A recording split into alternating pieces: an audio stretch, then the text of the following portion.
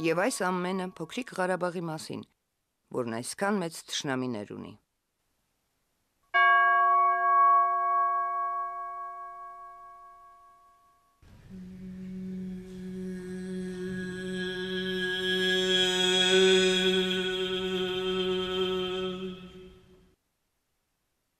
Շուշի ինձ համար ամենա քաղցր բառն է։ Շուշին, որը հպարտությունն էր մեր մշակութային կենտրոնն էր ամբողջ երկրամասի Արցախի Շուշին, որտեղ միջև հեղափոխությունը 20 միայն հայկական 20 թերթ էր տպագրվում թատրոն ռազմական ուսումնարան ճեմարան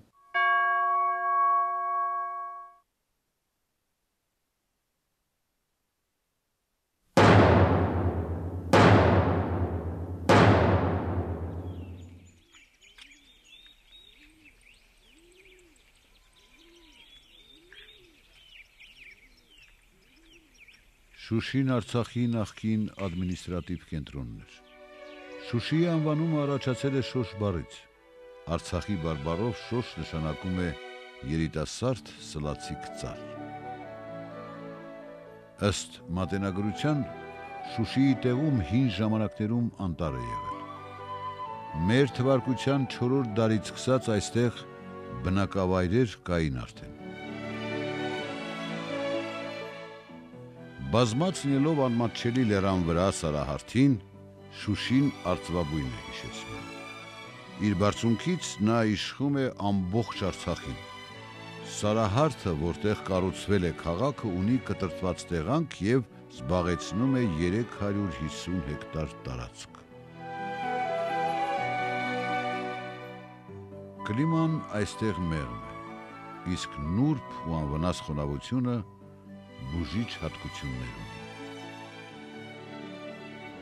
Ռազմական նշանակությունը, որ հենց սկզբից ունեցել է Շուշին, աստիճանաբար վերածեց նրան մշակութային եւ քաղաքական կենտրոնի Արցախում ու ողջ Անդրկովկասում։ Ինչպես նկատել է զորավարներից մեկը, նա ով կտիրի Շուշիին, կտիրի նաև ամբողջ Արցախին իսկ Արցախին տիրելը նշանակում է ազդեցություն ունենալ ողջ տարածաշրջանի վրա։ Միջին դարերում Շուշին կատարում էր բնական ամրոցի դեր Արցախի հայոց իշխանների համար։ Տարբեր ժամանակներում Հասան Ջալալյանը, Մելիք Շահնազարյանը, Զորավար Ավանը երկրամասի ինքնապաշտպանությունը կազմակերպելիս օգտագործել են Շուշիի անարիք դիրք։ Ամրոցի հիմքերը դրել է Հարուրապետ Ավանը 1719 թվականին։ 18-րդ դարում պաշտպանվելու համար թրքալեզու ցեղերի ավազակային հարձակումներից Արցախում ստեղծվում են սղնախություններ, որոնք իրենցից ներկայացնում էին ինքնապաշտպանական կենտրոններ։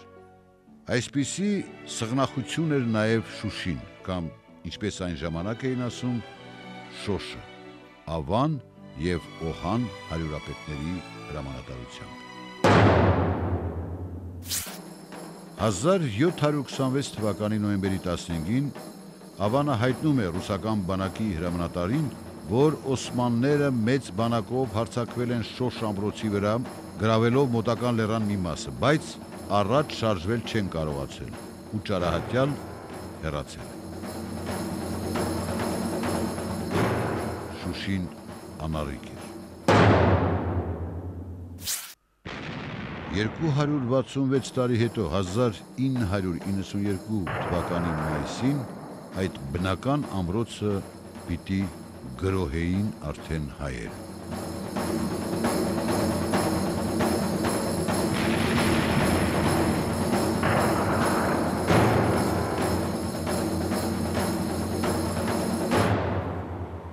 Կամանդոս Ես հիշում եմ մի հոդված եմ տպագրել ավանգարդում, դա եղել է ֆեդերվար ամսին 1992 թվականին, ը, մենք դատապարտված ենք Շուշին ազատագրել։ Կամ կամ էր, այստեղ Շեքսպիրյան հարց կա, կամ մենք մարում ենք այդ կրակակետը, որը կոչվում է Շուշի, ը, ազատագրում ենք, կամ ը, իրոք պետք է մենք արդեն թողնենք եւ դուրս գանք։ Сама техническая сторона э, Գործի տեխնիկական կողմը մեզ թելադրում էր ռազմավարական արվեստի օրենքներով շարժվել։ Մենք ոչ մի նոր բան չէինք հայտնագործել, այլ առաջնորդվել էինք զինվորական եղած կանոններով։ Հարցը նրանումն էր, որ մարտական գործողություններ վարելու համար մենք պիտի լավ իմանայինք տեղանքը եւ մեր հնարավորությունները։ Մենք պետք է գրավեինք այնպիսի անառիկ քաղաք ամրոց, որը բացառիկ է պատմության մեջ։ Չնայած որ անմաչելի ամրոցներ չկան, բայց Շուշին մնացել էր այդպեսին եւ ոչ ոք չէր կարողացել այն գրավել։ Եվ դա ճիշտ է։ Շուշին երբեք ոչ ոք չէր գրավել։ Բայց 18-րդ դարի երկրորդ կեսին Իրանից Արցախ թափանցեցին քոչվոր թրքալեզու ցեղեր, որոնցից մեկը Փանախ խանն էր գլխավորում, որին Իրանում մահվան էին դատապարտել ավազակության համար։ Արցախցիները մարդասիրությունից դրթված փակստականերին տեղ տվեցին Խաչեն գավառում։ Ընթարաչեցին առանց խորը մտածելու հետևանքների մասին եւ դրանք երկար սпасեցնել չտվեցին իրենց։ Օգտվելով հայ մելիքների տարաձայնություններից փանախը պայմանավորվեց Մելիք Շահնազար II-ի հետ եւ վերջինս նրան հրավիրեց Շուշի։ Շուտով Փանախ խանը դարձավ ամրոցի տիրակալը։ Շուշին ընկավ առանց մի կրակոցի։ 1789 թվականին վրաց պատմիչ Իրակլին հիշատակում է. Շուշիի սղնախությունում կա անմատչելի ամրոց,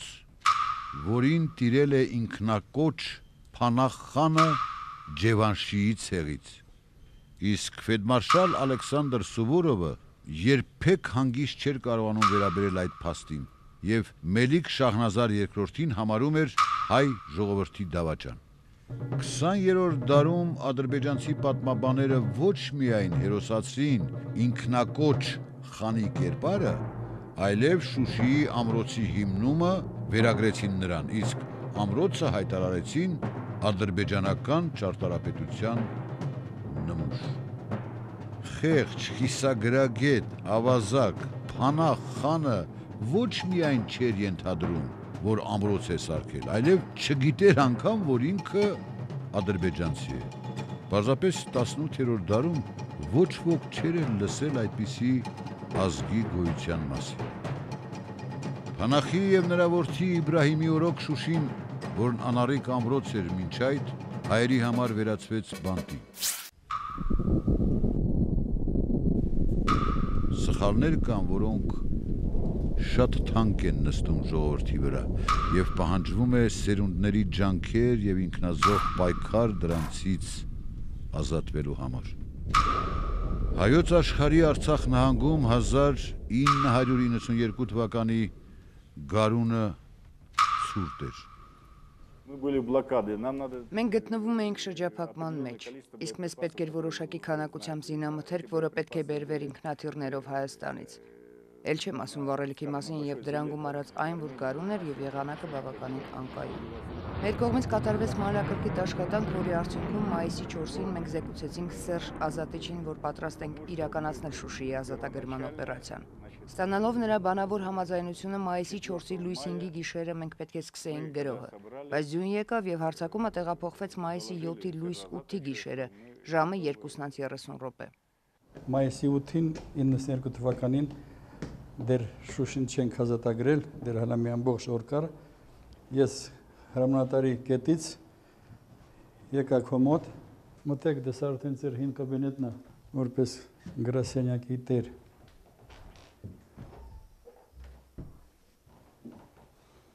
Ես հիշում եմ այստեղ լեփլեցուներ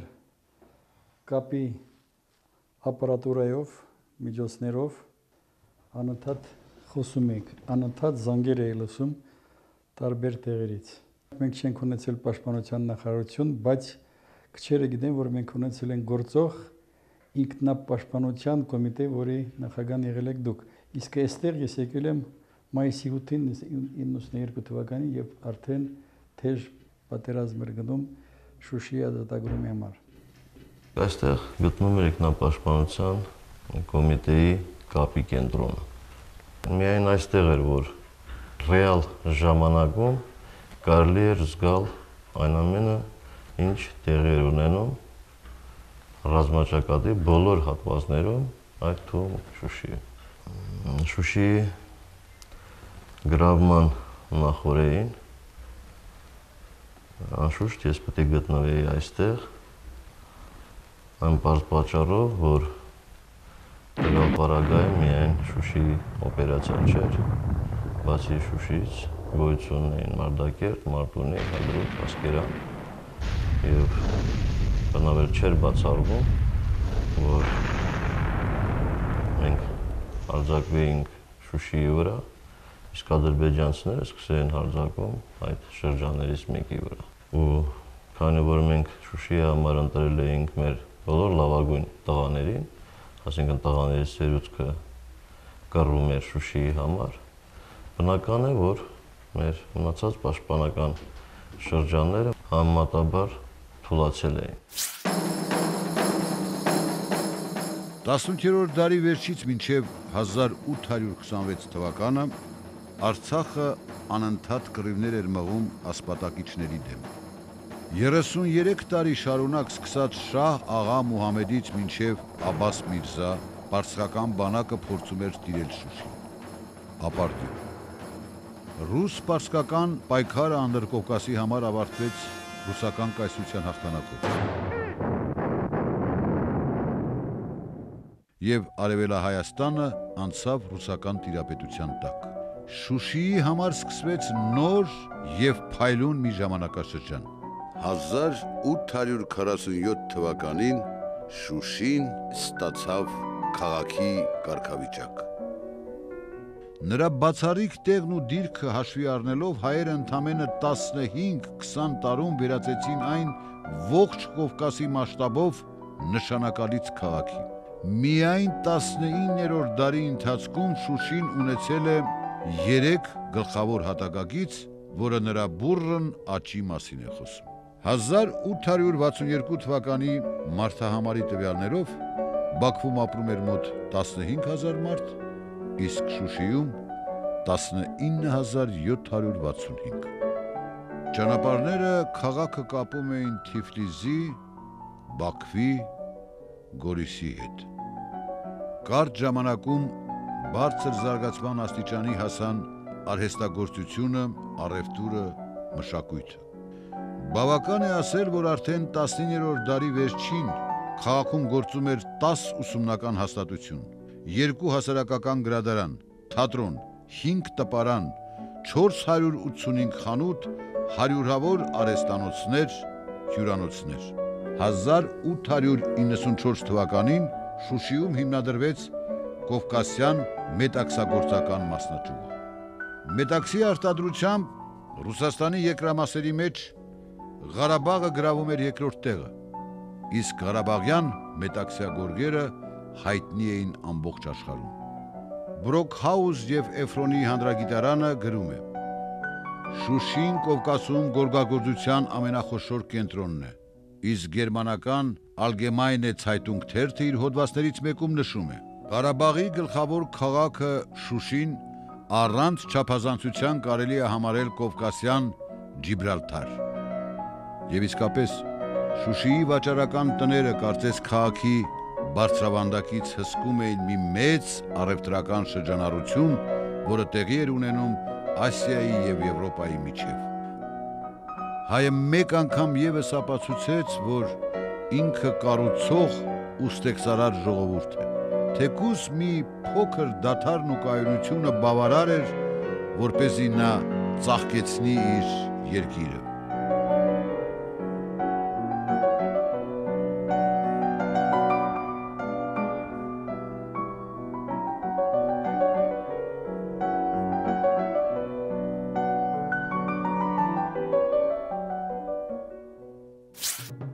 Հազար 992 թվականին դրախտավայր Շուշին ազերիների ձեռքին դարձել էր զենք եւ իր 4 բոլորը տարածված հայկական բնակավայրերի վրա մահ էր սփռում։ ահռելի վիճակ էր Ղարաբաղում Շուշից կրակ էր թափում ամբողջ 4 կողմը Ստեփանագերտում գրեթե ապրել հնարավոր չէր ապրում էինք բայց դրան չէր կարելի ասել ապրել ժողովուրդը գրեթե մեծամասնությամբ ապրում էր խարխուլ տների փլատակների տակ գետնափորներում եւ ոչ ոք չուներ կյանքի որևէ ապահովություն այնտեղից նույնիսկ կարելի էր նշանառությամբ առանձին անձանց նշանի տակ առնել, թիրախ դարձնել Ստեփանակերտի մեջ։ մեզ այլ ընտրանք չունեինք, եթե չլուծվեր Շուշի խնդիրը, եւ Ղարաբաղը ընդհանրապես այդ օղակից չէր կարող դուրս գալ եւ ժողովուրդը չէր կարող փրկվել անգամ փակուղի էր շրջափակման մեջ էին Շուշին դա հենց այն ճանապարհն էր, որը Հայաստանի հետ կապում էր եւ դա մենք այլ ընտրանքի այլ ընտրանք չունեինք հենց դա էր որ մեզ պարտադրվեց մշակել օպերացիա Սերժ Սարգսյանը եւ Արկադի Տեր-Թադևոսյանը, որոնք այն ժամանակ ղեկավարում էին ընդհանուր բանակը, Ղարաբաղի այդ կազմավորումները, ը, մշակվել էր օպերացիա ը, Շուշի ազատագրման համար։ Очень красиво, очень... э, Կարելի է շատ ճիշտ հաշվարկներ անել թղթի վրա քարտեզներին, բայց դրանք չեն իրականանա այնքան ժամանակ, միջև զինվորները չհասկանան, թե ինչի համար են կռվում։ Ես մարդկան չէի ստիպում գրոհի գնալ։ Ընթակառակը ինքս էի կատարում նրանց կամքը։ Իսկ մենք բոլորս միասին ենթարկվում էինք ժողովրդի կամքին։ Այսինքն ես այն հրամանատարն էի, որ ղեկավարում է ինքնական մարտի նետվող զինվորներին, որոնք շատ լավ են գիտակցում, թե ինչի համար են կռվում։ Պատերազմական ժամանակի օրենքներով հարցակվողը պետք է 3-4 անգամ թվական գերակշռություն ունենա հակառակորդի նկատմամբ։ Շուշին գրավելու համար մեզ պետք էր 10000 զինվոր ունենալ, բայց մենք ունեինք 3 անգամ քիչ։ Եվ այդ պակասը լրացնում էր մեր զինվորների բարոյական ոգին, որը հիացրեց ինձ։ Ես միշտ խոնարհվում եմ մեր զինվորների առջև։ Այո։ Հայ զինվորը գիտեր, թե ինչի համար է կռվում։ Արջևում Շուշին էր։ Խաղակ, որ ազերիները կրակակետի էին վերացել եւ այն պիտի ճնշվեր։ Օր ու գիշեր այդ հրեշը կրակ էր ժայթքում իր երախից ահ ու սարսափի մեջ պահելով Ստեփանակերտն ու շրջակա հայկական բնակավայրերը։ Այո։ Դա այդպես էր բայց հայ զինվորը գիտեր նաև, որ այդ կրակակետի անունը Շուշի է։ Խաղակ, որը մեր պարծանքն է եղել։ Խաղակ, որին օտարները ասում էին Կովկասի փոքրիկ Փարիզ։ 19-րդ դարում Շուշին դարձավ հայկական մշակույթի կենտրոններից մեկը։ Մինչև 1920 թվականը այստեղ լույս էր տեսնում 21 անուն թերթ ու ամսագիր, որից 19 հայերեն եւ երկուսը ռուսերեն լեզուներով։ Թարգմանաբար հրատարակում էին համաշխարային գրականության դասականների երկերը, իսկ հայ գրողները պատիվ էին համարում առաջինը Շուշիի տպարանում իրենց ստեղծագործությունների լույս ընծայումը։ Այստեղ առաջին անգամ տպվել են Լեոյի Վահան Մամիկոնյան, Ռաֆու Խենթը 1891 թվականին Մկրտիչ Խանդամիրյանի կողմից Շուշիում հիմնվում է 350 տեղանոց Խանդամիրյան թատրոնը իր մշտական թատերախմբով։ Այստեղ հյուրախաղերով հանդես են եկել հայբեմի մեծ վարպետներ՝ Սիրանույշ, Վահրամ Փափազյանը, Հովհանես Սաբելյանը, Արուս Պոսկանյանը։ Շուշիի մտավորականները իրենց օրվա մի մասը անց էին կացնում ընթերցարաններում, թատրոնում, ակումբներում։ Խաղաղում բարձր աստիճանի հասավ երաժշտական կուլտուրան։ 1916 թվականին այստեղ բեմադրվեց Արմեն Տիգրանյանի անուշ օպերան։ Շուշիում գործում էին մի քանի եղջախումբ եւ փողային նվագախումբ Իոնիսյանի ղեկավարությամբ։ Այս բարերար մշակութային մտնոլորտում ծնվեցին ու հասակ առան բազմաթիվ մտավորականներ, որոնք հետագայում փառք բերեցին հայ ժողովրդին։ Նկարիչ Ստեփան Աղաջանյանը, քանդակագործ Հակոբ Գյուրջյանը, պատմաբան Լեոն Մուրացյանը, դերասաներ Վաղարշ Վաղարշյանը, Գուրգեն Գաբրելյանը եւ մեր մշակույթի շատ այլ գործիչներ շուշեցիներ էին։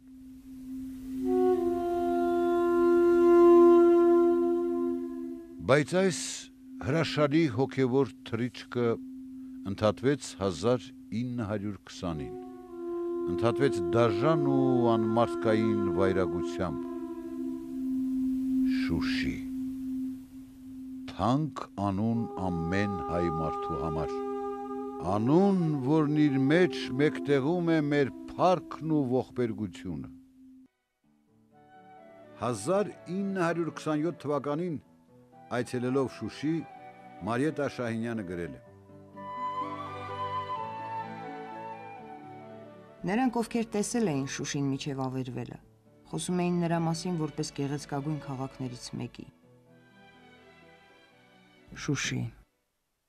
Երկու բոլոր կանգնած էին իմ առջև կմախքի վերածված տների տեսքով։ Առաջինը, որն ինձ ցնցեց, լռությունն էր։ Այդպիսի սարսափելի լռություն ես չէի ապրել ոչ մի տեղ։ Եվ անմիջապես այն ինձ թվաց անբնական։ Հանկարծ ինձ թվաց, թե լռությունը խոսում է։ Քարերը շարժվում են, շշնջում իրար ականջին։ Երևակայություն ունեցող մարդու համար դժվար է այստեղ շնչել։ Գնում ես, գնում ես, գնում ես։ Մերկացած պատերի միջով եւ վախենում ես, որ երբեք այստեղից դուրս չես գա։ Սպասում ես, որ վերջապես լռությունը կփրվի քո գլխավերևում եւ հնարավորություն կտա քեզ լիաթոք շնչելու։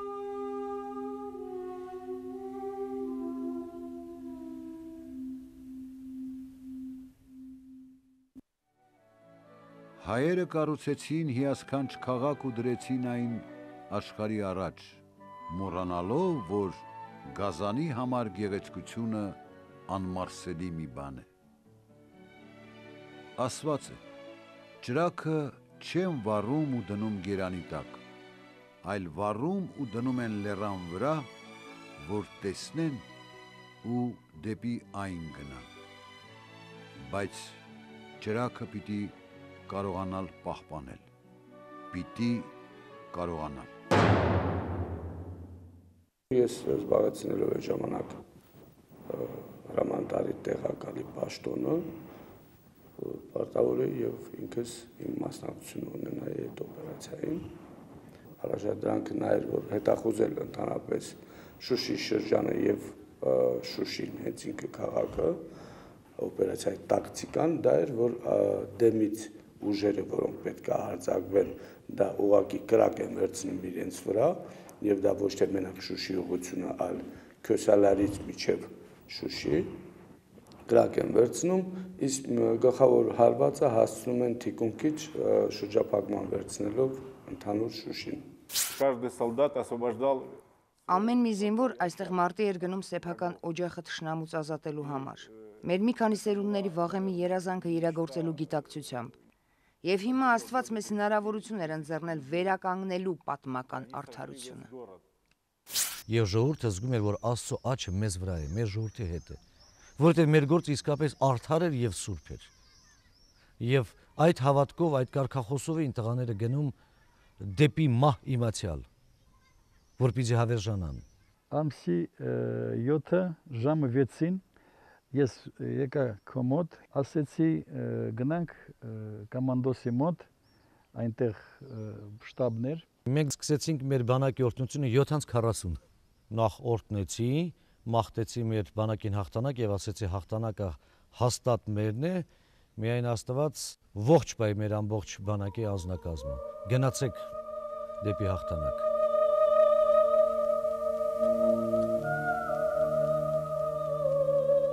Արջևում Շուշիներ